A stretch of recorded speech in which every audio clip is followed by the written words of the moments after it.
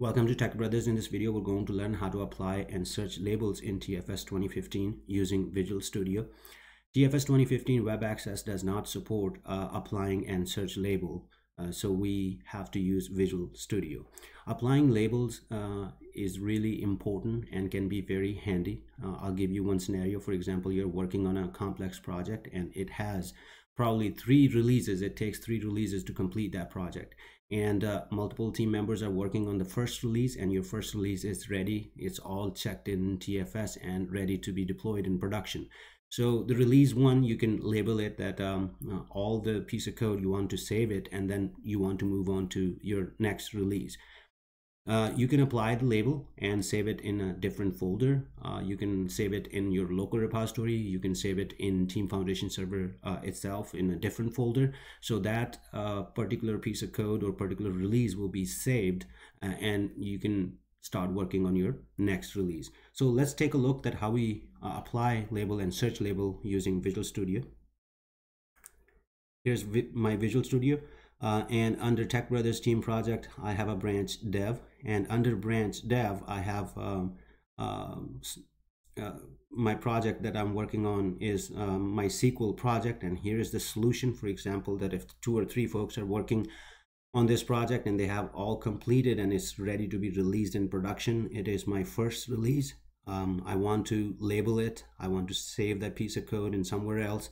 Uh, I will right click on that um, particular project, go to advanced and go to apply label. You have to name the uh, uh, label because you can use this name to search later on. Uh, I'm going to say SQL first release and comment. You can put anything you want to.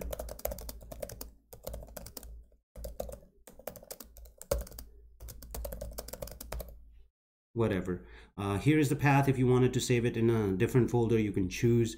Um, and versions I always wanted to get the latest version uh, so that the latest greatest code will be saved when I apply the label in the label itself. So but you have option uh, saving a particular change set uh, date um, whatever the work on specific date that was done. Uh, obviously label uh, itself as well and latest version. And if you're working on your local repository you can um, save that as a, a, workspace version if you have different version of your workspace. But i'm gonna use latest latest version and click on create. As you can see right here in the output the label first release is uh, i'm sorry this was the previous demo. Uh, label uh, SQL first release is created. Now let's say that it is created and we want to search by label. What we will do is um, you can right click on your project you can right click on the branch you can right click on your um, uh, any folder and you can go in advance um, find I'm sorry and click find label.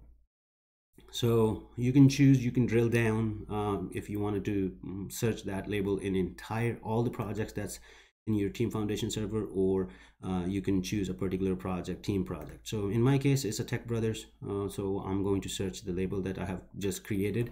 So it is going to be sql first release. And i'll click on find. And as you can see right here uh, it shows the name of the label owner of the label and comment on that label. If i wanted to open this what I'll do is double click on this uh, label and as you right here the the view is changed. It's your project your branch and your solution because this is the piece of code. You uh, labeled it and saved it um, but uh, if you go back to your source control you you see main branch ssis folder ssrs folder but when you um, search a label and open a label it only opens the one that you saved so basically this is it. This is how you apply and um, search labels in Team Foundation server using Visual Studio. And I hope this video helps.